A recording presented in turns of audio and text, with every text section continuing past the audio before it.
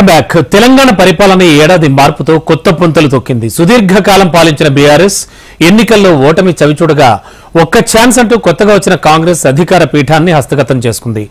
గతేడాదికి భిన్నంగా ఈ సంవత్సరం రెండు ప్రభుత్వాల పాలనను చూశారు తెలంగాణ ప్రజలు. రెండు వేల ఇరవై మూడు ప్రారంభంలో నూతన భవనాలను ప్రారంభించుకున్న పాత ప్రభుత్వం రెండు వేల ఇరవై మూడు చివరి నాటికి కొత్త ప్రభుత్వానికి బాధ్యతలు అప్పగించింది. మరి కొత్త ప్రభుత్వం వచ్చి కొంతకాలమే అయినా ఆ ప్రభుత్వానికి ఈ ప్రభుత్వానికి తేడాలు పోలికలు ఏమున్నాయో ఓసారి మీరే చూడండి.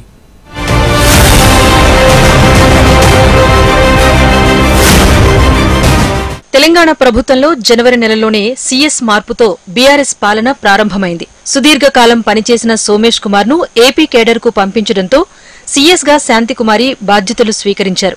ఇక గత నెలలో జరిగిన అసెంబ్లీ ఎన్నికల తర్వాత రేవంత్ రెడ్డి ముఖ్యమంత్రిగా బాధ్యతలు స్వీకరించాక అదే శాంతికుమారి కాంగ్రెస్ ప్రభుత్వంలోనూ చీఫ్ సెక్రటరీగా కొనసాగుతున్నారు.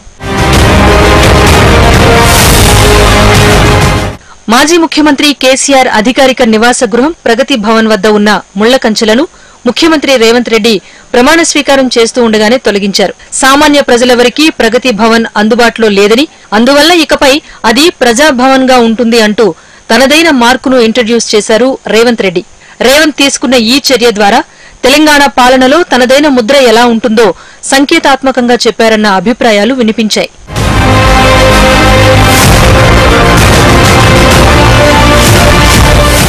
గత ప్రభుత్వంలో రాజ్ భవన్కు ప్రగతి భవన్కు మధ్య తీవ్రమైన గ్యాప్ ఏర్పడింది.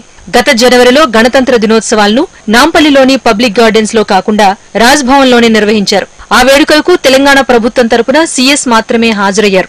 ప్రభుత్వం నుంచి ఎవరూ హాజరు కాలేదని గవర్నర్ తమిళిసై ప్రభుత్వంపై అసహనం వ్యక్తం చేశారు. అటు అసెంబ్లీ బడ్జెట్ సమావేశాల్లో గవర్నర్ ప్రసంగం లేకుండానే బడ్జెట్ను ప్రవేశపెట్టారు.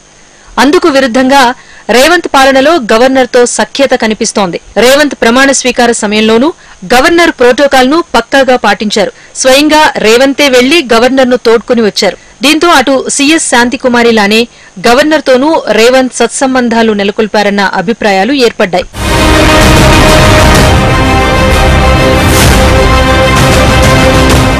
ట్రిపుల్ వన్ జీవో రద్దుతో తెలంగాణ సర్కారుకు భారీ ఆదాయం సమకూరే అవకాశాలు ఏర్పడ్డాయి. ఆ నిర్ణయాన్ని పాత ప్రభుత్వం తీసుకున్న దాని ఫలితాలు మాత్రం ఇప్పుడు కొత్త ప్రభుత్వానికి వర్తించబోతున్నాయని అంటున్నారు విశ్లేషకులు. జీవో ట్రిపుల్ వన్ రద్దుకు కోర్టు గ్రీన్ సిగ్నల్ ఇస్తే హెచ్ఎండిఏ పరిధిలో భూముల ధరలు ఆకాశానికి ఎగబాగటం ఖాయమని అంటున్నారు. కొందరు ప్రైవేట్ వ్యక్తులకు భారీ ప్రయోజనాలు వనగూరుతాయని అంటున్నారు. ఆ భూముల్లో పంటలు పండించే వారికి మాత్రం తీవ్ర నష్టం చేకూరుస్తుందంటున్నారు.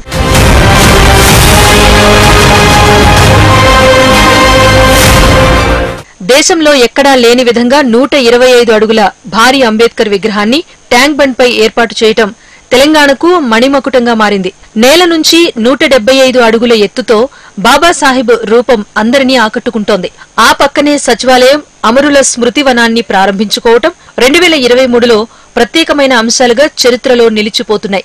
నూతన సచివాలయాన్ని డెక్కన్ కాకతీయ సంస్కృతి సాంప్రదాయాలు ఉట్టిపడేలా నిర్మించారు. దీని నిర్మాణం నుంచి డిజైనింగ్ దాకా కేసీఆర్ ఎంతో శ్రద్ధ తీసుకుని నిర్మింపచేశారు. అయితే అప్పుడు ప్రతిపక్ష నేతగా ఉన్న రేవంత్ సచివాలయానికి వచ్చినప్పుడు మాత్రం అనుమతించకుండా అడ్డుకున్నారు. అదే సచివాలయంలో ఇప్పుడు రేవంత్ రెడ్డి సీఎంగా కేసీఆర్ స్థానాన్ని ఆక్రమించడం విశేషంగా మారింది. హైదరాబాద్ కార్పొరేటర్లు సచివాలయానికి వచ్చి సంబంధిత అధికారులను కలుద్దామన్న గేట్ వద్దనే ఆపివేయటం విమర్శలకు తావిచ్చింది. అటు బీజేపీ ఎమ్మెల్యే రాజా సింగ్కు అదే పరిస్థితి ఎదురైంది.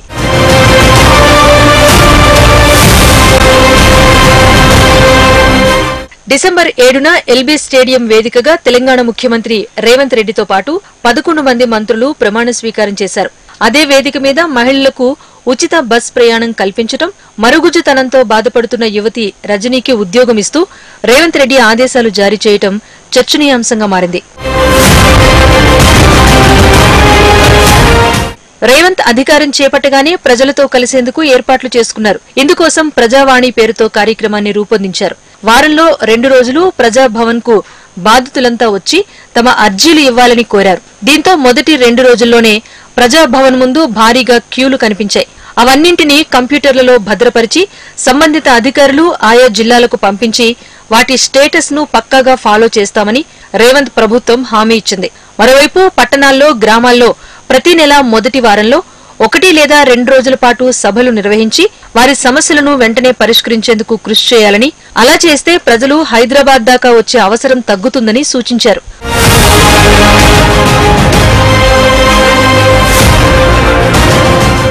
కుంగిపోయిన మేడిగడ్డ ప్రాజెక్టుకు సంబంధించి పూర్తి వివరాలు అందించాలని నీటిపారుదల శాఖ అధికారులను రేవంత్ ప్రభుత్వం ఆదేశించింది.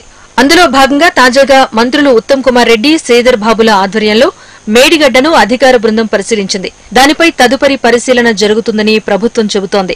అటు పాలమూరు రంగారెడ్డి ప్రాజెక్టుకు జాతీయ హోదా ఇవ్వాలని రెండు రాష్ట్రాల మధ్య ఉన్న విభజన సమస్యలను త్వరితంగా పరిష్కరించాలని రేవంత్ భట్టి విక్రమార్క ప్రధాని మోదీని కలిసి రావటం రెండు రాష్ట్రాల సంబంధాల్లో కీలకంగా మారే అవకాశం ఉందంటున్నారు.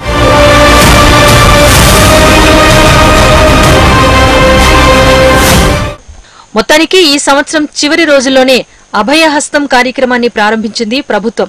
వంద రోజుల్లో ఆరు గ్యారంటీలను పూర్తిగా అమలు చేస్తామని పేర్కొంది. అందుకోసం రేషన్ కార్డులను ప్రాతిపదికగా తీసుకుని పనిని వేగవంతం చేస్తామంటున్నాయి ప్రభుత్వ వర్గాలు. ఈ కొత్త ప్రభుత్వం రెండు వేల ఇరవై నాలుగులో ఎలా ఉంటుందో రెండు వేల ఇరవై మూడులోనే సూచాయిగా చూపించారని అంటున్నారు పరిశీలకులు.